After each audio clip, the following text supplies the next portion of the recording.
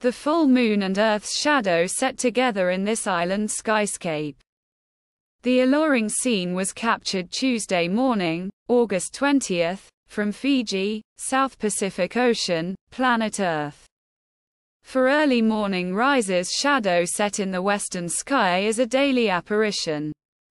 Still, the gray-blue shadow is often overlooked in favor of a brighter eastern horizon.